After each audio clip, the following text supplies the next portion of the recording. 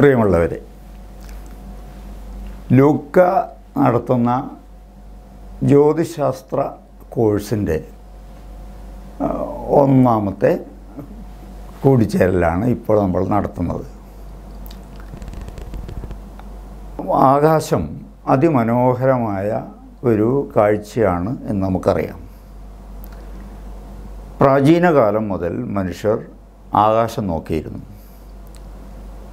അത് എന്തിനായിരുന്നു എന്നറിയുക അതിന്റെ ചരിത്രം മനസ്സിലാക്കുക. ഇന്ന് ജ്യോതിശാസ്ത്രം എത്തിച്ചേർന്നിരിക്കുന്ന സ്ഥിതി തിരിച്ചറിയുക. ഇതൊക്കെയാണ് നമ്മുടെ കോഴ്സിന്റെ ഉദ്ദേശം.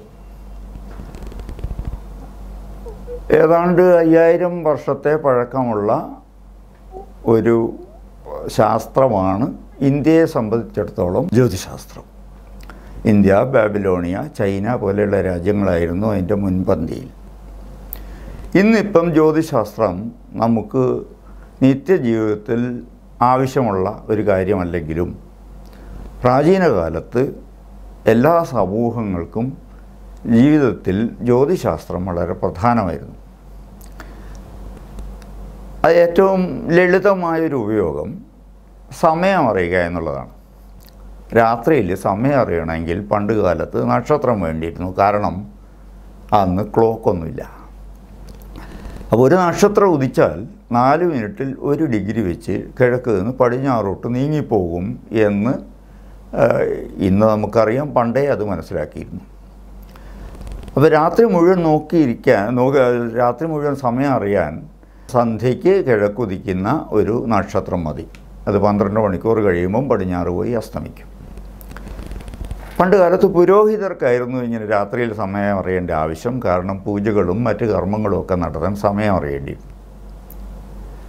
ഇതുകൂടാതെ വ്യാപാരി സമൂഹത്തിനും നക്ഷത്രം ആവശ്യമായി വന്നു. മനുഷ്യ സമൂഹം ഉൽപാദനത്തിലൊക്കെ വികാസം പ്രാപിച്ചപ്പോൾ പല സമൂഹങ്ങൾ തമ്മിലുള്ള കൊള്ളക്കൊടുക്കുകൾ ആവശ്യമായി വന്നു. ഇപ്പം സഞ്ചരിക്കണം. റോഡില്ലാത്ത കാലത്ത് ദൂരദേശങ്ങളിലേക്ക് സഞ്ചരിക്കണമെങ്കിൽ ഭൂമിയിൽ അടയാളങ്ങളൊന്നുമില്ല. ആകാശത്താണ് അവർ അടയാളം കാണുക. അപ്പോൾ ധ്രുവ നക്ഷത്രത്തെ കണ്ടാൽ വടക്ക് എവിടെയാണെന്ന് കിട്ടും. അപ്പോൾ ഏത് ദിക്കിലേക്കാണോ പോകേണ്ടത് അങ്ങോട്ട് നമുക്ക് യാത്ര തിരിക്കാൻ പറ്റും. തെക്ക് ഭാഗത്താണെങ്കിൽ തെക്കൻ കുരിശ് എന്ന് അറിയപ്പെടുന്ന നമ്മൾ ത്രിശങ്കു എന്ന് വിളിക്കുന്ന നക്ഷത്രഗണമുണ്ട്. അതിനെ നോക്കിയാലും ദിക്ക് കിട്ടും. അപ്പോൾ അങ്ങനെ സമയം അറിയാനും ദിക്ക് കണക്കാക്കാനും വേണ്ടി തുടങ്ങിയ ഒരു ശാസ്ത്രമാണ് ജ്യോതിശാസ്ത്രം. പിന്നീട് അതിന് വേറെയും പല ഉപയോഗങ്ങൾ കണ്ടെത്തുകയുണ്ടായി. കാലം ഗണിക്കാൻ ദീർഘകാല ഗണനയ്ക്കുള്ള കലണ്ടർ സിസ്റ്റം അതിൽ നിന്ന് വികസിപ്പിച്ചെടുക്കുകയുണ്ടായി. അതേപോലെ തന്നെ കാലാവസ്ഥ മുൻകൂട്ടി അറിയാനുള്ള സംവിധാനങ്ങൾ ഞാറ്റുവേല പോലെയുള്ള ആശയങ്ങളും അതിൽ നിന്ന് വന്നു. അതൊക്കെ നമ്മൾ നമ്മൾ പിന്നീട് ചർച്ച ചെയ്യും. നമുക്കിപ്പം അടുത്ത നവംബർ മുതൽ ഒരു അഞ്ച് മാസം വാനനിരീക്ഷണത്തിന് പറ്റിയ കാലമാണ്. ആകാശം തെളിഞ്ഞു കിട്ടും.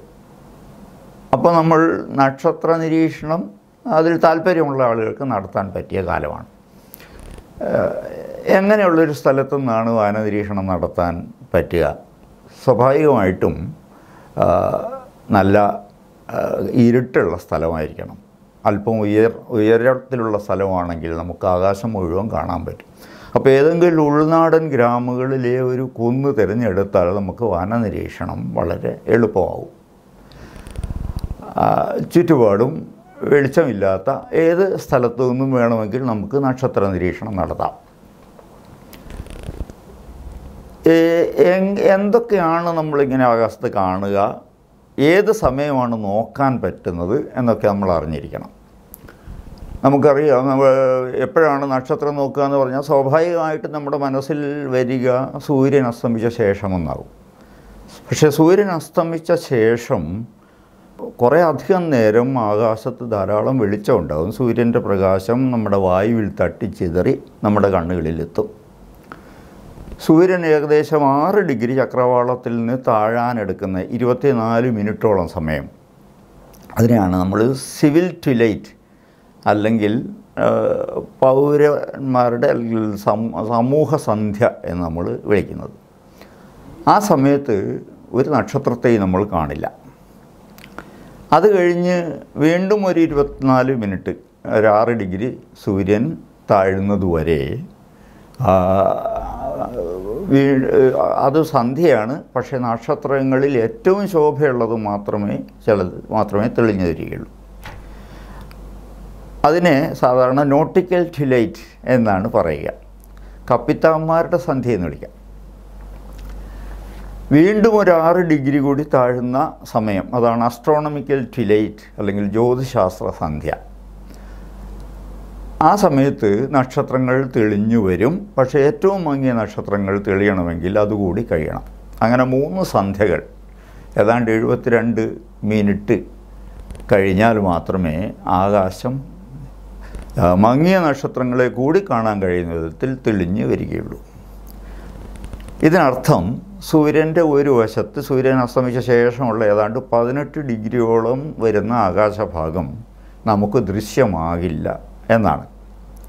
പ്രഭാതത്തിലോ പ്രഭാതത്തിലും സൂര്യൻ കിഴക്കേ ചക്രവാളത്തിൽ നിന്ന് ഏതാണ്ട് പതിനെട്ട് ഡിഗ്രി താഴെ എത്തുമ്പോഴേക്കും കുറേശ്ശെ വെളിച്ചം വീശിത്തുടങ്ങും മങ്ങിയ നക്ഷത്രങ്ങളൊക്കെ തന്നെ കൂടുതൽ മങ്ങും കാണാതാവും.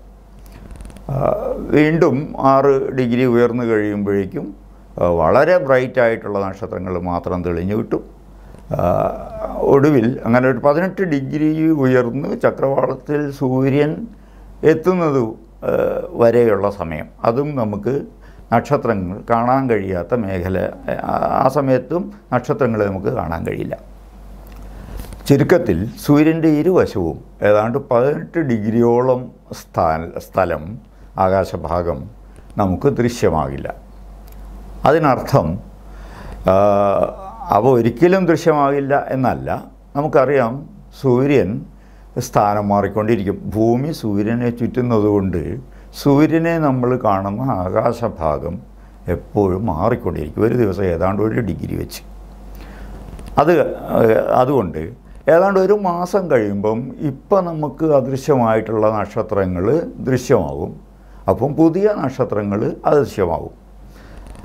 അങ്ങനെ നമുക്ക് രാത്രി മുഴുവൻ ഇരുന്നാൽ ഒരു മാസം കൊണ്ട് ആകാശത്തുള്ള വെറും കണ്ണുകൊണ്ട് കാണാവുന്ന മുഴുവൻ നക്ഷത്രങ്ങളെയും നമുക്ക് കാണാൻ കഴിയും. ടെലസ്കോപ്പ് ഉണ്ടെങ്കിൽ നക്ഷത്രങ്ങൾ കൂടാതെ വേറെയും പല വസ്തുക്കളെയും നമുക്ക് ആകാശത്ത് കാണാം. അപ്പോൾ സന്ധ്യയൊക്കെ കഴിഞ്ഞ് നമ്മൾ പൂർണമായി ഇരുട്ടിൽ നക്ഷത്ര നിരീക്ഷണം നടത്തുകയാണ് ആകാശ നിരീക്ഷണം നടത്തുകയാണ്. എന്തൊക്കെ നമുക്ക് ആകാശത്ത് കാണാൻ കഴിയും? ഒരു സമയത്ത് ഒരു മൂവായിരം മുതൽ മൂവായിരത്തി അഞ്ഞൂറ് വരെ നക്ഷത്രങ്ങളെ കാണാൻ കഴിയും എന്നാണ് കണക്കാക്കുന്നത്. എല്ലാ കാലത്തും ഒരുപോലെ ആയിരിക്കില്ല വ്യത്യാസമുണ്ടാവും? രാത്രി മുഴുവൻ നോക്കിയിരുന്നാൽ പടിഞ്ഞാറ് അസ്തമിച്ചുകൊണ്ടിരിക്കും നക്ഷത്രം കിഴക്ക് പുതിയ ഉദിച്ചുകൊണ്ടിരിക്കും. എല്ലാം ചേർന്ന് ഒരു ഏഴായിരം നക്ഷത്രങ്ങളെ വരെ കാണാൻ കഴിയും എന്നാണ് പ്രതീക്ഷ. ഇങ്ങനെ കാണുന്ന നക്ഷത്രങ്ങൾ പല നിറമുള്ളവയാവും പല ശോഭയുള്ളവയാവും. നല്ല കടുത്ത നീല നിറമുള്ള റീഗൽ പോലെയുള്ള നക്ഷത്രങ്ങളുണ്ട്.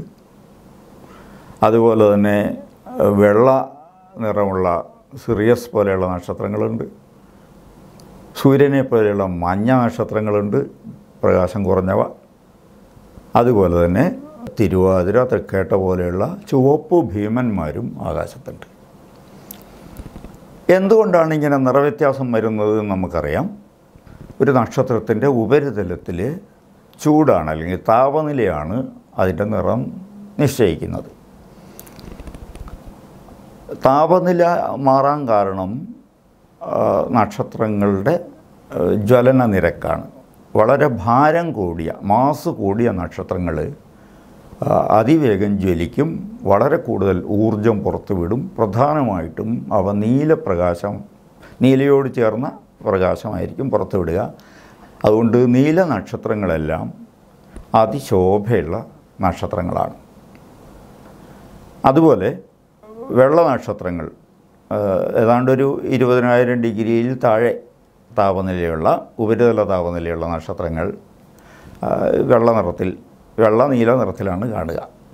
നമ്മുടെ സൂര്യനെ പോലെയുള്ള മഞ്ഞ നക്ഷത്രങ്ങൾ ഏതാണ്ട് ഒരു ആറായിരം ഡിഗ്രിയുടെ ഏഴായിരം ഡിഗ്രി മുതൽ അയ്യായിരം ഡിഗ്രി വരെ താപനിലയുള്ള നക്ഷത്രങ്ങളാണ്. ചുവപ്പ് ഭീമന്മാരായിട്ട് കാണുന്നത് നശിക്കാറായ നക്ഷത്രങ്ങളാണ് ഏറെ നക്ഷത്രങ്ങളെല്ലാം തന്നെ അവൻ അവയുടെ അന്ത്യദശയിൽ ചുവപ്പ് ഭീമന്മാരായി വീർത്തു വരും. ഒടുവിൽ അവ പൊട്ടിത്തെറിച്ചോ ഏതെങ്കിലും വിധത്തിൽ നശിച്ചു പോവുകയും ചെയ്യും. അങ്ങനെ നശിക്കാറായ നക്ഷത്രങ്ങൾ അതിന് മുമ്പുള്ള അവസ്ഥയാണ് ചുവപ്പ് ഭീമൻ. തിരുവാതിരയും തൃക്കേട്ടയും ഒക്കെ തന്നെ ആ വിഭാഗത്തിൽപ്പെട്ട നക്ഷത്രങ്ങളാണ് അവയ്ക്ക് താപനില കുറവായിരിക്കും ഒരു നാലായിരം ഡിഗ്രിയിൽ താഴെയായിരിക്കും ചൂട്. അപ്പോൾ അങ്ങനെ താപനില അനുസരിച്ച് നക്ഷത്രങ്ങളുടെ ഭാരം അനുസരിച്ച് ഒക്കെ തന്നെ നമുക്ക് നക്ഷത്രങ്ങളുടെ ശോഭ വ്യതിയാനം മനസ്സിലാക്കാൻ കഴിയും. ഇത് കൂടാതെ നക്ഷത്രങ്ങളുടെ ശോഭ തീരുമാനിക്കുന്നതിൽ അവയുടെ വലിപ്പവും പ്രധാനമാണ്. ഞാൻ നേരത്തെ പറഞ്ഞ പോലെ തിരുവാതിര നക്ഷത്രം ചുവപ്പ് ഭീമനാണ്. സൂര്യന്റെ അനേക ലക്ഷം ഇരട്ടി വലിപ്പമുണ്ട് അതിന്. പക്ഷേ അത്ര അധികം മാസില്ല. അവ അങ്ങനെ വീർത്തിരിക്കുകയാണ്. അപ്പം ഉപരിതല വിസ്തൃതി വളരെ കൂടുതലായിരിക്കും. ഉപരിതല വിസ്തൃതി വളരെ കൂടുതലായ കാരണം അവിടുന്ന് പുറത്തേക്ക് വരുന്ന ഊർജത്തിന്റെ അളവ് മൊത്തം അളവ് കൂടുതലായിരിക്കും. അതുകൊണ്ട് അവ കൂടുതൽ ശോഭയോടെ കാണപ്പെടും. അതുപോലെ ദൂരം ഇതിനേക്കാളൊക്കെ പ്രധാന യഥാർത്ഥത്തിൽ നക്ഷത്രങ്ങളുടെ ശോഭ തീരുമാനിക്കുന്നതിൽ ദൂരമാണ്. വളരെ കൂടുതൽ ദൂരമുള്ള നക്ഷത്രങ്ങൾ മങ്ങി കാണപ്പെടും. അടുത്തുള്ള നക്ഷത്രങ്ങൾ ശോഭയുടെ കാണപ്പെടും. ഉദാഹരണത്തിന് സിറിയസ്. നമ്മൾ ആകാശത്ത് കാണുന്ന ഏറ്റവും ശോഭയുള്ള നക്ഷത്രമാണ് സിറിയസ്. പക്ഷേ സിറിയസിൽ നിന്ന് പ്രകാശം ഭൂമിയിലെത്താൻ എട്ട് ദശാംശം ആറ് വർഷം മതി. എട്ട് ദശാംശം ആറ് പ്രകാശ വർഷം അകലെയാണ് ആ നക്ഷത്രം. അതേസമയത്ത് റീഗൽ നക്ഷത്രം ഏതാണ്ട് എണ്ണൂറ്റി മുപ്പത് പ്രകാശ വർഷ അകലെയാണ്. സിറിയസിനേക്കാൾ ഏതാണ്ട് നൂറ് ഇരട്ടി അകലെയായിട്ട് വരും അത്. അതുകൊണ്ട് അതിന്റെ പ്രകാശം യഥാർത്ഥത്തിൽ സിറിയസിന്റെ അതേ അകലത്തിലായിരുന്നെങ്കിൽ എത്ര പ്രകാശം ഉണ്ടായിരുന്നോ ഉണ്ടായിരിക്കുമായിരുന്നോ? അതിലേക്കാൾ ഒരു പതിനായിരത്തിലൊരു അംശം മാത്രമേ അതിൽ നമ്മൾ പ്രകാശം കാണൂ. അപ്പം ദൂരം കൂടുന്നതിനനുസരിച്ച് വളരെ വേഗത്തിൽ പ്രകാശം കുറയും. ദൂരത്തിന്റെ സ്ക്വയർ അനുസരിച്ച് പ്രകാശം കുറയും. അതുകൊണ്ട് ദൂരമുള്ള നക്ഷത്രങ്ങൾ മങ്ങിയായിരിക്കും കാണുക. നക്ഷത്രങ്ങളെ കൂടാതെ നമുക്ക് ആകാശത്ത് കാണാൻ കഴിയുന്ന വേറെ വസ്തുക്കളിൽ പ്രധാനമായിട്ടും ഗ്രഹങ്ങളാണുള്ളത്. നമുക്കറിയാം സൂര്യനെ ചുറ്റുന്ന എട്ട് ഗ്രഹങ്ങൾ ആണുള്ളത്. ബുധൻ ശുക്രൻ ചൊവ്വ വ്യാഴം ശനി യുറാനസ് നെപ്റ്റ്യൂൺ ഇതുകൂടാതെ ഇതിനിടയ്ക്ക് ഭൂമിയും ശുക്രന് ശേഷം ഭൂമിയുമുണ്ട്. അങ്ങനെ എട്ട് ഗ്രഹങ്ങളിൽ ഒടുവിലത്തെ രണ്ടെണ്ണത്തെ വെറും കണ്ണുകൊണ്ട് നമുക്ക് കാണാൻ കഴിയില്ല. യുറാനസും നെപ്റ്റ്യൂണും. ബാക്കിയെല്ലാം നമുക്ക് വെറും കണ്ണുകൊണ്ട് കാണാം. ആദ്യത്തെ നാലെണ്ണം ബുധൻ ശുക്രൻ ഭൂമി ചൊവ്വ. ഈ നാല് ഗ്രഹങ്ങൾ ടെറസ്ട്രിയൽ പ്ലാനറ്റ്സ് അല്ലെങ്കിൽ ഭൗമഗ്രഹങ്ങൾ എന്ന പേരിലാണ് അറിയപ്പെടുന്നത്. അതിന് കാരണം അവയുടെ ഉപരിതലത്തിൽ പാറയുണ്ട്. അവയുടെ വായുമണ്ഡലത്തിൽ വാതകങ്ങളുടെ അളവ് താരതമ്യേന കുറവാണ്.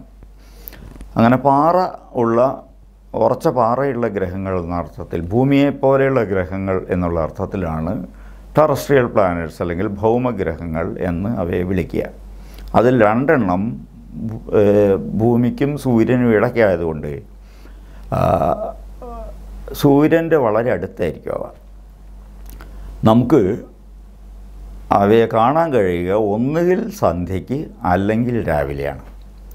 ബുധൻ സൂര്യൻ അസ്തമിച്ചു കഴിഞ്ഞ് ഒരു ഒന്നര മണിക്കൂർ വരെ ചില കാലത്ത് കാണാൻ പറ്റും. മറ്റു ചില കാലത്ത് രാവിലെ ആയിരിക്കും കാണുക അതും ഏതാണ്ട് ഒന്നര മണിക്കൂർ. ശുക്രൻ ഏതാണ്ട് മൂന്ന് മണിക്കൂർ വരെ നമുക്ക് കാണാൻ കഴിയും. ഉദയ അസ്തമയത്തിന് ശേഷമോ അല്ലെങ്കിൽ ഉദയത്തിന് മുമ്പോ. വ്യാഴം മുതൽ അങ്ങോട്ടുള്ള വ്യാഴം യുറാനസ് നെപ്റ്റ്യൂൺ ശനി യുറാനസ് നെപ്റ്റ്യൂൺ ഇവ എല്ലാം തന്നെ വാതക ഗോളങ്ങളാണ്. വളരെ ഭീമാകാരങ്ങളാണവ. ഭൂമിയുടെ ആയിരത്തി മുന്നൂറ് ഇരട്ടിയുണ്ട് വ്യാഴം. അതുപോലെ ശനി ഭൂമിയുടെ ആയിരം ഇരട്ടിയുണ്ട്. വ്യാഴം ഒരു നഗ്നദൃഷ്ടി കൊണ്ട് നമുക്ക് വളരെ ഭംഗിയായിട്ട് നല്ല സാമാന്യം നല്ല തിള തിളക്കത്തോടെ കാണാൻ കഴിയും. ഒരു ടെലസ്കോപ്പിലാണെങ്കിൽ ലൂടെ നോക്കുകയാണെങ്കിൽ അതിന്റെ അതിലെ വാതകത്തിന്റെ ചുഴികൾ ചുഴി സൃഷ്ടിച്ച ഒരു കറുത്ത ഒരു വിള ചുവന്ന പൊട്ട് കാണാം. അതേപോലെ തന്നെ അതിലെ വാതകത്തിന്റെ ചുഴികളും കൊടുങ്കാറ്റ് പോലെ വീശുന്ന മേഖലകളും എല്ലാം തന്നെ സ്ട്രിപ്പുകളായിട്ട് നമുക്ക് ടെലസ്കോപ്പിൽ കാണാൻ കഴിയും. മനോഹരമായൊരു കാഴ്ചയാണ് വ്യാഴം. വ്യാഴത്തിന്റെ നാല് ഉപഗ്രഹങ്ങളെയും ഒരു സാധാരണ ടെലസ്കോപ്പ് നമുക്ക് കാണാൻ കഴിയും. ഏറ്റവും കൂടുതൽ ഉപഗ്രഹങ്ങൾ ഉള്ള ഗ്രഹങ്ങളിൽ ഒന്നാണ് വ്യാഴം. വ്യാഴത്തേക്കാൾ കൂടുതൽ ശനിക്കാണ്. ശനിയും ഭൂമിയുടെ ഏതാണ്ട് ആയിരം ഇരട്ടിയുള്ള ഒരു വലിയ വാതക ഭീമനാണ്. ഹൈഡ്രജനും ഹീലിയും ഒക്കെയാണ് ഈ വാതക ഗോളങ്ങൾ ഏറ്റവും കൂടുതൽ ഉണ്ടാകുക എന്ന് നമുക്കറിയാം. ശനിക്ക് എൺപതിലധികം ഗ്രഹങ്ങൾ ഉപഗ്രഹങ്ങൾ ഉള്ളതായിട്ട് നമുക്കിപ്പോഴറിയാം ശനിയുടെ ഏറ്റവും മനോഹരമായ ഒരു ദൃശ്യം എന്ന് പറയുന്നത് ശനിക്ക് ചുറ്റുമുള്ള വലയങ്ങളാണ്. അത് ഏറ്റവും മനോഹരമായി കാണപ്പെടുക ശനിയുടെ കാര്യത്തിലാണ്. യുറാനസിനും അതുപോലെ തന്നെ നെപ്റ്റ്യൂണിനും ഒക്കെ വലയമുണ്ടെങ്കിലും ശനിയുടെ വലയമാണ് കൂടുതൽ ദൃശ്യമായിട്ടുള്ളത്. അങ്ങനെ ആകാശത്ത് നക്ഷത്രങ്ങളെയും ഗ്രഹങ്ങളെയും കാണുന്നുണ്ട്. എങ്ങനെയാണ് നമ്മളവയെ തിരിച്ചറിയുക? അഞ്ച് ഗ്രഹങ്ങളാണ് നമുക്ക് വെറും കണ്ണുകൊണ്ട് കാണാൻ കഴിയുന്നത്. ബുധൻ ശുക്രൻ ചൊവ്വ വ്യാഴം ശനി ഇവയെ. ഇവയെ നക്ഷത്രങ്ങളിൽ എങ്ങനെ തിരിച്ചറിയും. നക്ഷത്രങ്ങളുടെ പ്രത്യേകത അവ മിന്നിത്തെളിയും എന്നുള്ളതാണ്. മിന്നി മിന്നി കളിക്കും എപ്പോഴും. അതേസമയത്ത് ഗ്രഹങ്ങൾ ഒരേ ശോഭയോടെ ആണ് നിൽക്കുക. ഇത് അവയെ തിരിച്ചറിയാനുള്ള ഒരു എളുപ്പമാർഗമാണ്. എന്തുകൊണ്ടാണ് നക്ഷത്രങ്ങൾ മിന്നുന്നത് എന്ന് നമുക്ക് മനസ്സിലാക്കാൻ പ്രയാസമില്ല. നക്ഷത്രങ്ങൾ വളരെ വളരെ ദൂരത്താണ്. പ്രകാശവർഷങ്ങൾ അകലെയാണ്. അവയിൽ നിന്ന് വരുന്ന പ്രകാശം ഒരു നേർത്ത ബീമായിട്ട് ആണ് വരിക. ഭൂമിയുടെ അന്തരീക്ഷത്തിൽ പ്രവേശിക്കുമ്പം ഭൂമിയുടെ അന്തരീക്ഷത്തിൽ ചെറിയ വ്യതിയാനങ്ങൾ കാരണം സാന്ദ്രതയിലുള്ള വ്യതിയാനം കാറ്റടിക്കുമ്പോഴും ഒക്കെ തന്നെ ഉള്ള വ്യതിയാനം കാരണം അവയുടെ പാതയിൽ നേരിയ വ്യത്യാസം ഉണ്ടാവും കണ്ണിലവ വീഴുന്ന സ്ഥാനം ചാഞ്ചാടും. ഈ ചാഞ്ചാട്ടത്തിനനുസരിച്ച് നമ്മുടെ കണ്ണും ചാഞ്ചാടും. അങ്ങനെ കണ്ണിനുണ്ടാകുന്ന ഈ ചാഞ്ചാട്ടമാണ് നക്ഷത്രങ്ങളുടെ മിന്നലായിട്ട് നമുക്ക് അനുഭവപ്പെടുക. ശരിക്കും നക്ഷത്രങ്ങളുടെ മിന്നലല്ലാതെ നമ്മുടെ അന്തരീക്ഷത്തിലെ വ്യതിയാനമാണ് ഇതിന് കാരണമെന്നർത്ഥം അതേസമയത്ത് ഗ്രഹങ്ങളുടെ ഡിസ്ക് താരതമ്യേന വലുതാണ്. അവയിൽ നിന്ന് നമ്മുടെ കണ്ണിലെത്തുന്ന പ്രകാശ ഭീമിന്റെ വിസ്തൃതിയും കൂടുതലാണ്. അതുകൊണ്ട് അന്തരീക്ഷത്തിലുണ്ടാകുന്ന വ്യതിയാനം ഈ ഭീമിലുണ്ടാക്കുന്ന മാറ്റം പഥവ്യതിയാനം നമ്മുടെ കണ്ണിൽ കാര്യമായി അനുഭവപ്പെടില്ല. അതുകൊണ്ട് ഗ്രഹങ്ങൾ നിന്ന് പ്രകാശിക്കുന്നതായിട്ട് നമുക്ക് അനുഭവം അനുഭവപ്പെടും. ഇതാണ് നക്ഷത്രങ്ങളെയും ഗ്രഹങ്ങളെയും തിരിച്ചറിയാനുള്ള എളുപ്പമാർഗമെങ്കിലും ഇത് കൃത്യതയുള്ള ഒരു മാർഗമാണെന്ന് പറയാൻ പറ്റില്ല. കാരണം തലയ്ക്ക് മുകളിലായിരിക്കുമ്പോൾ നക്ഷത്രങ്ങൾ മിന്നില്ല അപ്പോൾ അത് ചിലപ്പോൾ ഗ്രഹങ്ങളായി തെറ്റിദ്ധരിക്കാനുള്ള സാധ്യതയുണ്ട്. അതേപോലെ ചക്രവാളത്തിലായിരിക്കുമ്പോൾ ശനി പോലെയുള്ള ഗ്രഹങ്ങൾ മിന്നുന്നതായിട്ടും കാണാം. കാരണം കൂടുതൽ ദൂരം അവയുടെ പ്രകാശം അന്തരീക്ഷത്തിലൂടെ കടന്നു പോരേണ്ടി വരുന്നു എന്നതാണ് അതിന് കാരണം. എന്തായാലും കുറച്ചും കൂടി കൃത്യതയുള്ളൊരു മാർഗം എന്ന് പറയുന്നത് ഗ്രഹങ്ങളുടെ സ്ഥാനചലനം നിരീക്ഷിക്കുകയാണ്. നക്ഷത്ര നക്ഷത്രമണ്ഡലത്തിലൂടെ ഗ്രഹങ്ങളുടെ സ്ഥാനം മാറിക്കൊണ്ടിരിക്കും. ബുധൻ ശുക്രൻ പോലെയുള്ള ഗ്രഹങ്ങളുടെ സ്ഥാനം വളരെ വേഗം മാറും. അതേസമയത്ത് സമയത്ത് ശനി വ്യാഴം ഇവയുടെ സ്ഥാനം വളരെ പതുക്കെ മാത്രമേ മാറുള്ളൂ. ശനിക്ക് ഒരു രാശിയിൽ മുപ്പത് ഡിഗ്രി വരുന്ന രാശിയിൽ നിന്ന് അടുത്ത രാശിയിലേക്ക് കടക്കാൻ രണ്ടര കൊല്ലം വേണം. അതുകൊണ്ട് ഗ്രഹങ്ങളുടെ സ്ഥാനത്തിലുണ്ടാകുന്ന മാറ്റം നിരീക്ഷിക്കാൻ എളുപ്പം ബുധൻ ശുക്രൻ ചൊവ്വ എന്നീ ഗ്രഹങ്ങളുടെ കാര്യത്തിലാണ്. വ്യാഴത്തിന്റെയും ശനിയുടെയും കാര്യത്തിൽ അതത്ര എളുപ്പമുള്ള കാര്യമല്ല. ഭൂമി സ്വന്തം അക്ഷത്തിൽ കറങ്ങുന്നതുകൊണ്ടാണ് നക്ഷത്രങ്ങൾ കിഴക്ക് നിന്ന് പടിഞ്ഞാറോട്ട് നീങ്ങുന്നതായി നമ്മൾ കാണുന്നത് എന്ന് നേരത്തെ സൂചിപ്പിച്ചു. ഭൂമി സ്വന്തം അക്ഷത്തിൽ ഒന്ന് കറങ്ങാനെടുക്കുന്ന സമയമാണ് ദിവസം എന്ന് നമ്മൾ സ്കൂളിലൊക്കെ പഠിക്കുന്നുണ്ട്. പക്ഷേ ദിവസങ്ങൾ യഥാർത്ഥത്തിൽ രണ്ട് തരമുണ്ട്. നക്ഷത്രത്തെ അപേക്ഷിച്ചാണ് നിങ്ങൾ ദിവസം കണക്കാക്കുന്നതെങ്കിൽ അതിനെ സൈഡീരിയൽ ഡേ അല്ലെങ്കിൽ നക്ഷത്ര ദിനം എന്ന് പറയും. ഇതെങ്ങനെ കാണും? നമ്മൾ രാത്രിയിൽ സൺ തലയ്ക്ക് മുകളിൽ ഒരു നക്ഷത്രത്തെ കാണുന്നു എന്ന് വിചാരിക്കുക. ആ നക്ഷത്രം പടിഞ്ഞാറോട്ട് നീങ്ങി നീങ്ങിപ്പോയി പിറ്റേ ദിവസം വീണ്ടും നമ്മുടെ തലയ്ക്ക് മുകളിൽ എത്താൻ ഇരുപത്തിമൂന്ന് മണിക്കൂറും അൻപത്താറ് മിനിറ്റും എടുക്കും. ഇതാണ് നക്ഷത്ര ദിനം എന്ന് പറയുന്നത്. ജ്യോതിശാസ്ത്രത്തിൽ പല ഗണനകൾക്കും നക്ഷത്ര ദിനമാണ് എടുക്കുക. എന്നാൽ സൂര്യനെ നമ്മൾ തലയ്ക്ക് മുകളിൽ കാണുന്ന സമയം മുതൽ വീണ്ടും സൂര്യൻ തലയ്ക്ക് മുകളിൽ എത്തുന്ന സമയം വരെയുള്ള ഒരു ദിവസം എന്ന് പറയുന്നത് ഇനി ഇരുപത്തിനാല് മണിക്കൂർ എന്ന് പറഞ്ഞാൽ നാല് മിനിറ്റ് കൂടുതൽ വേണം നക്ഷത്ര ദിനത്തേക്കാൾ ഇതിന് കാരണം വളരെ വ്യക്തമാണ്. ഭൂമി സൂര്യനെ ചുറ്റുന്നുണ്ട്. ഒരു ദിവസം കൊണ്ട് ഏതാണ്ട് ഒരു ഡിഗ്രി ചുറ്റും. അപ്പം ഭൂമി സ്വയം മുന്നൂറ്ററുപത് ഡിഗ്രി കറങ്ങിയാൽ പോരാ. മുന്നൂറ്ററുപത്തൊന്ന് ഡിഗ്രി കറങ്ങിയാലേ നമ്മൾ സൂര്യന്റെ നേർക്ക് എത്തുള്ളൂ. ഭൂമിക്ക് മുന്നൂറ്ററുപത്തൊന്ന് ഡിഗ്രി കറങ്ങാൻ അല്ലെങ്കിൽ ഉച്ച മുതൽ ഉച്ച വരെ അല്ലെങ്കിൽ പാതിര മുതൽ പാതിര വരെ ഏതായാലും ശരി വേണ്ട സമയം ഇരുപത്തിനാല് മണിക്കൂറാണ്. അതിനെയാണ് നമ്മൾ സൗരദിനം എന്ന് പറയുന്നത്. ഭൂമിയുടെ അക്ഷം ഇരുപത്തിമൂന്നര ഡിഗ്രി ചെരിഞ്ഞിട്ടാണ് എന്ന് നമ്മൾ സ്കൂളിലൊക്കെ പഠിക്കുന്നുണ്ട്. എന്തുമായിട്ടാണ് ഈ ചെരിവ്? ഭൂമി സ്വയം കറങ്ങുന്നത് കൂടാതെ സൂര്യനെയും ചുറ്റുന്നുണ്ട് എന്ന് നമുക്കറിയാം. സൂര്യനെ ചുറ്റുന്നതിനുള്ള ഒരക്ഷമുണ്ട്. ആ വൃത്തത്തിന്റെ അക്ഷം സൂര്യനിൽ കൂടിയുള്ള ഒരു ഒരു അക്ഷം. ആ അക്ഷവുമായിട്ടാണ് ഭൂമി സ്വയം കറങ്ങുന്ന അക്ഷം അല്ലെങ്കിൽ ഭ്രമണാക്ഷം അത് ഇരുപത്തിമൂന്നര ഡിഗ്രി ചെരിഞ്ഞ് നിൽക്കുന്നത്. ഇതിന്റെ ഫലം എന്താണെന്ന് നോക്കാം. ചില കാലത്ത് സൂര്യൻ ഭൂമിയുടെ വടക്കേ അർദ്ധഗോളത്തിലായിരിക്കും പ്രകാശം കുത്തനെ പതിപ്പിക്കുക. ഭൂമി ഇങ്ങനെ സൂര്യനെ ചുറ്റി വരുമ്പം ഭൂമിയുടെ ചെരിവ് ഇരുപത്തിമൂന്ന് ഡിഗ്രി ചെരിവ് അതേപടി നിൽക്കുന്നതുകൊണ്ട് ഭൂമിയിൽ സൂര്യപ്രകാശം കുത്തനെ വീഴുന്ന ഭാഗം ക്രമേണ നീങ്ങി നീങ്ങി വരും. അത് പിന്നീട് ഭൂമിയുടെ തെക്കേ പകുതിയിലേക്ക് തെക്കേ അർദ്ധഗോളത്തിലേക്ക് കടക്കും.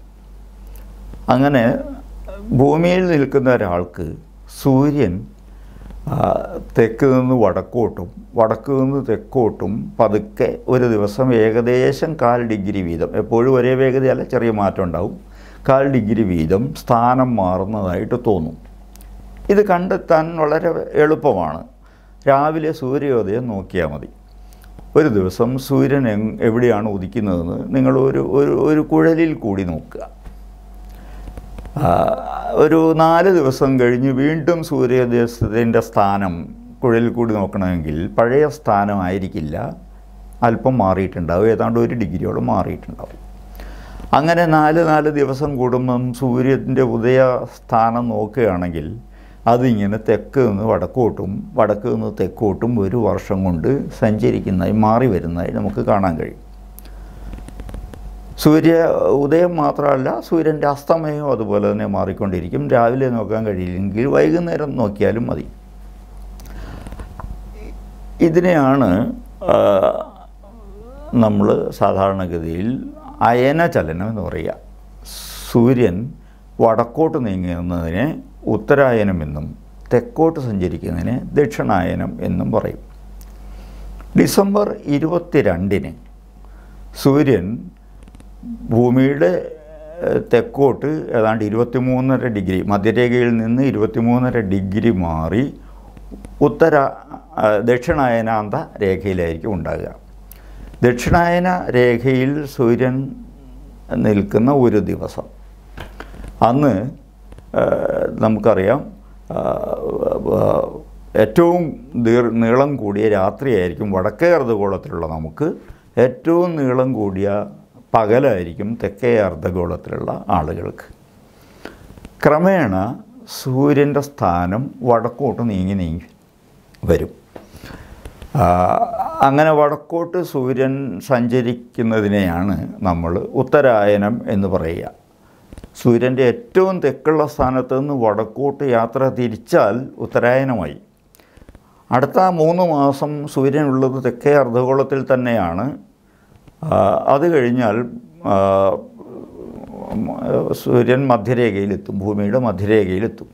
മാർച്ച് ഇരുപത്തൊന്നിന് മധ്യരേഖയിലെത്തുകയും വടക്കോട്ട് കടക്കുകയും ചെയ്യും. വടക്കേ അർദ്ധഗോളത്തിലേക്ക് കടക്കുകയും ചെയ്യും.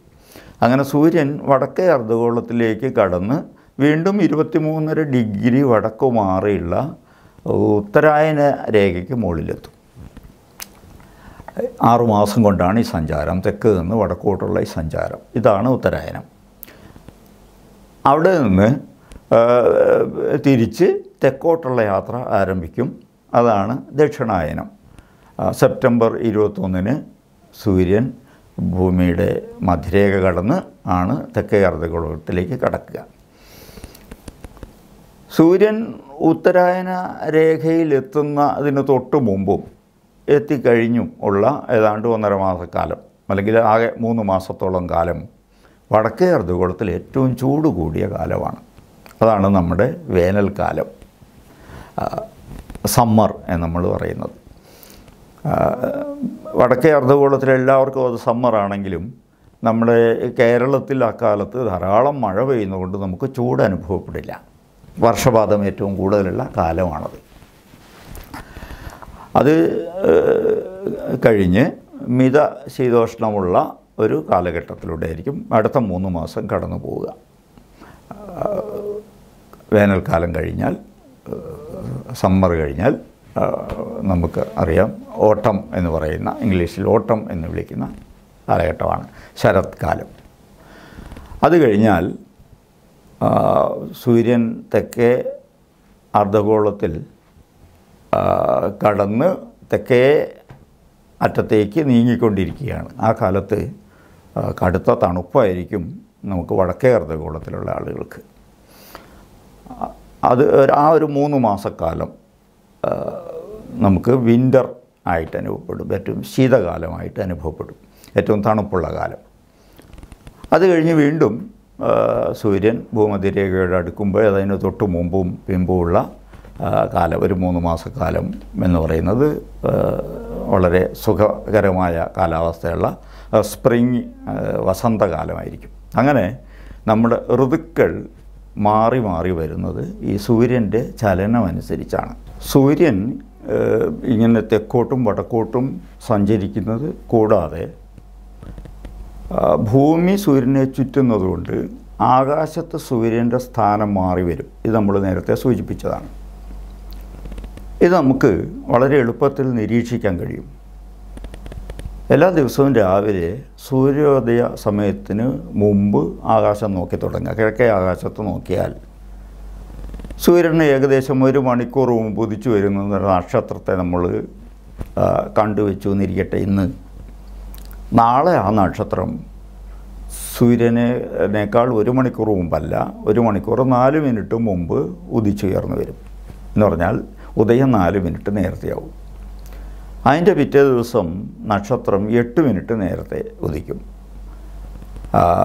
അതിന് പിറ്റേ ദിവസം പന്ത്രണ്ട് മിനിറ്റ്. എല്ലാ നക്ഷത്രങ്ങളും ഇതുപോലെ എല്ലാ ദിവസവും നാല് നാല് മിനിറ്റ് വീതം സൗരദിനവുമായിട്ട് നോക്കുമ്പോൾ നേരത്തെ ഉദിച്ചു വരുന്നതായിട്ട് നമുക്ക് കാണാൻ കഴിയും. ശരിക്കും നക്ഷത്രം നേരത്തെ ഉദിക്കുന്നതല്ല സൂര്യൻ വൈകി ഉദിക്കുന്നതാണ്. നക്ഷത്രങ്ങളെ അപേക്ഷിച്ച് സൂര്യൻ എല്ലാ ദിവസവും നാല് നാല് മിനിറ്റ് വീതം വൈകി ഉദിക്കുന്നു അല്ലെങ്കിൽ ഒരു ഡിഗ്രി വീതം പടിഞ്ഞാറുന്ന് കിഴക്കോട്ട് നീങ്ങി നീങ്ങി പോകുന്നു. ഇതിന് കാരണം ഭൂമി സൂര്യനെ ചുറ്റുന്നതാണ്. ഇങ്ങനെ സൂര്യൻ ഭൂമിയെ ചുറ്റുന്നതായിട്ടാണ് നമ്മൾ കാണുക. ആകാശത്ത് സൂര്യൻ സഞ്ചരിക്കുന്നതായി അനുഭവപ്പെടുന്ന ഈ ഒരു പഥത്തെ ഈ ഒരു വൃത്തത്തെ നമ്മൾ ക്രാന്തിപഥം അല്ലെങ്കിൽ ക്രാന്തി വൃത്തം എക്ലിപ്റ്റിക് എന്ന് വിളിക്കും. ഈ ക്രാന്തിപഥത്തെ അതിന്റെ ഇരുവശത്തുമായിട്ട് ഒരു പതിനെട്ട് ഡിഗ്രി വീതിയിലൊരു നാട പോലെ സങ്കല്പിച്ചാൽ ഭൂമിക്ക് ചുറ്റും ആകാശത്ത് നക്ഷത്രങ്ങളുള്ള ഒരു മേഖല ഒരു നാട നമുക്ക് സങ്ക മനസ്സിലാക്കാം. എങ്കിൽ ഈ നാടയെ മുപ്പത് ഡിഗ്രി വീതമുള്ള പന്ത്രണ്ട് തുല്യ ഭാഗങ്ങളായിട്ട് ഭാഗിക്കാം. അതിനെ പന്ത്രണ്ട് രാശികൾ എന്ന് പറയും. ഈ പന്ത്രണ്ട് രാശികളും ചേർന്ന ഒരു രാശി ചക്രമാണ് ഞാൻ നേരത്തെ പറഞ്ഞ നാട. ഈ രാശികൾക്കൊക്കെ പേര് നൽകാൻ കഴിയും. ഉദാഹരണത്തിന് ഒരു രാശിയിൽ ഒരു കുറേയധികം നക്ഷത്രങ്ങളുണ്ട്. കിടക്കുന്ന ഒരു ചെമ്മരിയാടിന്റെ രൂപത്തിൽ. മേഷം അഥവാ മേടം. എന്ന് പറയുന്ന ഒരു ചിത്രം ആണ് അവിടെയുള്ളത് അത് മേടം രാശി എന്നതിനെ വിളിക്കും. മുപ്പത് ഡിഗ്രി വരുന്ന മേടം രാശി. സൂര്യൻ മേടം രാശിയിൽ പ്രവേശിച്ചാൽ മേടമാസമാവും. ഒരു ദിവസം ഒരു ഡിഗ്രി വെച്ചാണ് സൂര്യൻ ഏകദേശം സഞ്ചരിക്കുക. അങ്ങനെ ഒരു മാസക്കാലം മേടത്തിലുണ്ടാവും സൂര്യൻ. അതിനെയാണ് നമ്മൾ മേടമാസം എന്ന് പറയുക. അത് കഴിഞ്ഞാൽ അടുത്ത രാശി ഋഷഭമാണ്. കാള എന്നർത്ഥം. ടോറസ്. ഒരു കാളയുടെ രൂപത്തിൽ കുറേയധികം നക്ഷത്രങ്ങൾ. ഇങ്ങനെ ഭൂമിക്ക് ചുറ്റും ആകാശത്ത് പന്ത്രണ്ട് രാശികളുള്ള ഒരു നാട. അതാണ് രാശിചക്രം അതിൽ പന്ത്രണ്ട് രാശികൾ. രാശിയുടെ പ്രാധാന്യമൊക്കെ നമ്മൾ പിന്നീട് പറയുന്നതാണ്. ഈ രാശിചക്രത്തിലൂടെ സൂര്യനും മാത്രമല്ല മറ്റ് ഗ്രഹങ്ങളും സഞ്ചരിക്കുന്നതായിട്ട് നമുക്ക് അനുഭവപ്പെടും. കാരണം ഗ്രഹങ്ങൾ അഞ്ച് ഗ്രഹങ്ങൾ നമുക്ക് കാണാൻ കഴിയുന്നവയുണ്ട്. അവ അഞ്ചും സൂര്യനെ ചുറ്റുന്നവയാണ്. അതുകൊണ്ട് രാശിചക്രത്തിലൂടെ അവയും സഞ്ചരിക്കുന്നതായിട്ട് നമുക്ക് കാണാൻ കഴിയും. ഇത് ആദ്യമായിട്ട് വികസിപ്പിച്ചത് ഈ ശാസ്ത്രം വികസിപ്പിച്ചത് അല്ലെങ്കിൽ ഈ നിരീക്ഷണങ്ങൾ ഗൗരവമായി നടത്തിയത് ബാബിലോണിയക്കാരാണ്. ഇപ്പോഴത്തെ ഇറാഖ് അതാണ് ബാബിലോണിയ പ്രാചീന ബാബിലോണിയക്കാർ ആകാശത്തിൽ സൂര്യൻ പോകുന്ന വഴി നിരീക്ഷിക്കുകയും ആ ഭാഗത്തുള്ള നക്ഷത്രങ്ങൾ ചേർത്ത് പന്ത്രണ്ട് രാശികൾ സങ്കല്പിക്കുകയും ചെയ്തു. അവയാണ് സൗരരാശികൾ എന്ന് വിളിക്കുന്നത്. ഏതാണ്ട് ബി സി ഏഴാം നൂറ്റാണ്ടോടുകൂടി ഈ രാശികളും രാശികളിലെ ഗ്രഹങ്ങളുടെ സ്ഥാനവും ഒക്കെ നിർണയിക്കുന്ന രീതി അവർ ഉറപ്പിക്കുകയും അത് കൊണ്ട് എങ്ങനെയാണ് കാലം ഗണിക്കാൻ കഴിയുക എന്ന് തീരുമാനിക്കുകയും ചെയ്തു. ഉദാഹരണത്തിന് ഒരു കുട്ടി ജനിക്കുന്ന സമയത്ത് ഈ പന്ത്രണ്ട് രാശികളിൽ എവിടെയൊക്കെ ഏതൊക്കെ ഗ്രഹങ്ങൾ നിൽക്കുന്നു എന്ന് അടയാളപ്പെടുത്താൻ കഴിയും. ഇങ്ങനെ അടയാളപ്പെടുത്തുന്നതാണ് ഗ്രഹനില എന്ന പേരിൽ അറിയപ്പെടുന്നത്. ഈ ഗ്രഹനില കുട്ടി ജനിക്കുമ്പോഴുള്ള ഗ്രഹനിലയും പിന്നെ എപ്പോഴുള്ള ഗ്രഹനിലയും അറിയാമെങ്കിൽ അവയെ താരതമ്യപ്പെടുത്തിക്കൊണ്ട് നമുക്ക് ആ കുട്ടിക്ക് എത്ര പ്രായമായി എന്ന് ഗണിച്ചെടുക്കാൻ കഴിയും. കുട്ടികളുടെ പ്രായം മാത്രമല്ല മനുഷ്യന്റെ പ്രായം മാത്രമല്ല ഏത് സംഭവത്തിന്റെ പ്രായവും ഗ്രഹനില വെച്ച് ഗണിച്ചെടുക്കാൻ കഴിയും. ഇതാണ് ഈ ഗ്രഹനില നിർണയിക്കുന്ന ഏറ്റവും വലിയ പ്രയോജനം. സൂര്യപഥത്തിലെ പന്ത്രണ്ട് രാശികളെക്കുറിച്ചാണ് നമ്മൾ പറഞ്ഞത്. അവയാണ് സൗരരാശികൾ എന്ന് വിളിക്കുന്നത്. ഇവ കൂടാതെ ആകാശം നിറയെ നക്ഷത്രങ്ങളുണ്ട്. സൗരരാശികൾക്ക് പുറമേ ഉള്ള നക്ഷത്രങ്ങളെയും ഇതുപോലെ രാശികളായിട്ട് സൗരേതര രാശികളായിട്ട് അല്ലെങ്കിൽ കോൺസ്റ്റലേഷൻസ് ആയിട്ട് വിഭജിച്ചിട്ടുണ്ട്. ഇപ്പോൾ ഏകദേശം എഴുപത്തി ആറ് സൗരേതര രാശികളാണുള്ളത്. പന്ത്രണ്ട് സൗരരാശികൾ ഉൾപ്പെടെ ആകെ എൺപത്തെട്ട് രാശികളാണ് ആകാശത്ത് കണക്കാക്കുന്നത്. ഓരോ രാശിയും ഓരോ ചിത്രമാണ്. അതിൽ മൃഗങ്ങളുണ്ട് പക്ഷികളുണ്ട് മനുഷ്യരുണ്ട് പല പല രൂപങ്ങളുണ്ട്. നക്ഷത്രങ്ങൾക്ക് പേര് നൽകാനുള്ള ശ്രമം പണ്ട് മുതലേ ഉണ്ടായിട്ടുണ്ട്. ഗ്രീക്കുകാരാണ് ആകാശത്ത് ഈ നക്ഷത്രങ്ങളെ സൗരേതര നക്ഷത്രങ്ങളെ പ്രത്യേകിച്ചും സൗരേതര രാശികളിൽ പെടാത്ത നക്ഷത്രങ്ങളെ ഏറ്റവും ശ്രദ്ധയോടെ പഠിച്ചിട്ടുള്ളത്. അവയ്ക്ക് പേര് നൽകുന്നതിലും അവർ വളരെ ശ്രദ്ധ കാണിച്ചിരുന്നു. അതിനുശേഷം അറബികളാണ് ഏറ്റവും കൂടുതൽ നക്ഷത്രങ്ങൾക്ക് പേര് നൽകിയിട്ടുള്ളത്. ഏറ്റവും ശോഭയുള്ള നക്ഷത്രങ്ങൾക്ക് മാത്രമേ സ്വന്തമായിട്ട് പേരുകളുള്ളൂ. റെയ്യൽ തിരുവാതിര കനോപ്പസ് എന്നൊക്കെയുള്ള പേരുകളൊക്കെ അത്തരം നക്ഷത്രങ്ങൾക്കുള്ളതാണ്. എന്നാൽ എല്ലാ നക്ഷത്രങ്ങൾക്കും ഇതുപോലെ സ്വന്തം പേര് നൽകുക എളുപ്പമല്ല. കാരണം ഏഴായിരത്തോളം നക്ഷത്രങ്ങളെ മനുഷ്യന് കാണാൻ കഴിയും മങ്ങിയതാണെങ്കിലും. അവയ്ക്ക് പേര് നൽകുന്ന രീതി പിന്നീട് ബെയർ എന്ന് പറയുന്ന വനനിരീക്ഷകനാണ് ഉണ്ടാക്കിയെടുത്തത്. ഈ ബെയർ കാറ്റലോഗ് എന്ന പേരിൽ നക്ഷത്രങ്ങളുടെ ഒരു വലിയ പട്ടികയുണ്ട്. ലോകത്താദ്യമായിട്ട് നക്ഷത്രങ്ങളുടെ ഒരു പട്ടിക ഉണ്ടാക്കിയത് ഗ്രീക്കുകാരനായ ഹിപ്പാർക്കസാണ് ബി സി നൂറ്റി മുപ്പത്തഞ്ചിൽ. അദ്ദേഹം ഏതാണ്ട് എണ്ണൂറ്റമ്പതോളം നക്ഷത്രങ്ങളെയാണ് അവയുടെ ശോഭയുടെ അടിസ്ഥാനത്തിൽ പട്ടികപ്പെടുത്തിയിട്ടുള്ളത്. ബെയർ കൂടുതൽ നക്ഷത്രങ്ങളെ തിരിച്ചറിയുക മാത്രമല്ല അവയ്ക്ക് പേര് കൊടുക്കുന്ന രീതി കൂടി വികസിപ്പിച്ചെടുത്തു. ഒരു നക്ഷത്രഗണത്തിൽ അല്ലെങ്കിൽ ഒരു കോൺസ്റ്റലേഷനിൽ പെടുന്ന നക്ഷത്രങ്ങൾക്ക് ആ കോൺസ്റ്റലേഷനിലെ ഏറ്റവും ശോഭയുള്ള നക്ഷത്രത്തിന് ആൽഫ അടുത്തതിന് ബീറ്റ. പിന്നെ ഗാമ ഇങ്ങനെ ഗ്രീക്ക് അക്ഷരമാലയുടെ ക്രമത്തിൽ അവയ്ക്ക് പേര് നൽകുന്ന രീതി ഉണ്ടാക്കിയെടുത്തു. ഉദാഹരണത്തിന് ഓറിയൺ എന്ന് പറയുന്ന ഒരു നക്ഷത്രഗണം നമുക്കറിയാം. വേട്ടക്കാരൻ എന്ന് നമുക്ക് ആകാശത്തെ ഏറ്റവും പരിചയമുള്ള നക്ഷത്രഗണങ്ങളിൽ ഒന്നാണ്. അതിലേറ്റവും ശോഭയുള്ളതായിട്ട് അദ്ദേഹം കണ്ട തിരുവാതിര നക്ഷത്രത്തിന് അദ്ദേഹം ആൽഫ ഓറിയോണിസ് എന്ന് പേര് നൽകി. ഒറയോൺ ഗണത്തിലെ ഏറ്റവും ശോഭയുള്ളത്. റീഗൽ രണ്ടാം സ്ഥാനത്താണ്. അതിന് ബീറ്റ ഓറിയോണിസ് എന്ന് പേര് നൽകി. തൊട്ടടുത്ത് ശോഭയുള്ളതിന് ഗാമ ഓറിയോണിസ് ഡെൽറ്റ ഓറിയോണിസ്. ഇങ്ങനെ ആൽഫ ബീറ്റ ഗാമ ഡെൽറ്റ എന്നുള്ള ഈ ക്രമത്തിൽ ഓരോ കോൺസ്റ്റലേഷനിലും പെട്ട നക്ഷത്രങ്ങൾക്ക് പേര് നൽകാൻ കഴിഞ്ഞു. അപ്പോൾ നമുക്ക് വെറും കണ്ണുകൊണ്ട് കാണാവുന്ന നക്ഷത്രങ്ങളെല്ലാം ബെയർ കാറ്റലോഗ് ഉപയോഗിച്ച് നമുക്ക് പട്ടികപ്പെടുത്താൻ കഴിയും. പക്ഷേ ടെലസ്കോപ്പുകൾ പ്രചാരത്തിൽ വന്നതോടുകൂടി നമുക്ക് വെറും കണ്ണുകൊണ്ട് കാണാൻ കഴിയാത്ത നക്ഷത്രങ്ങളെയും കാണാമെന്നായി. അങ്ങനെ നമുക്ക് പട്ടി പട്ടികപ്പെടുത്തേണ്ട നക്ഷത്രങ്ങളുടെ എണ്ണം ആയിരങ്ങളും പതിനായിരങ്ങളും പിന്നീട് ലക്ഷങ്ങളും ആയിട്ട് വികസിച്ചു. അവയെ എല്ലാം ഉൾപ്പെടുത്തിക്കൊണ്ടുള്ള വലിയ നക്ഷത്ര പട്ടികകൾ അല്ലെങ്കിൽ മാപ്പുകൾ നിലയിൽ വന്നിട്ടുണ്ട്. അത് ചിത്രങ്ങളായിട്ടും മാപ്പുകളായിട്ടും ചിലപ്പോൾ പട്ടികകളായിട്ടും ഒക്കെയാണ് അടയാളപ്പെടുത്താറുള്ളത്. ഇത്തരം നിരവധി മാപ്പുകൾ ഇന്ന് ലഭ്യമാണ്. വാനനിരീക്ഷകർക്ക് ഇവയെല്ലാം തന്നെ വളരെയധികം പ്രയോജനപ്പെടുന്നവയാണ്.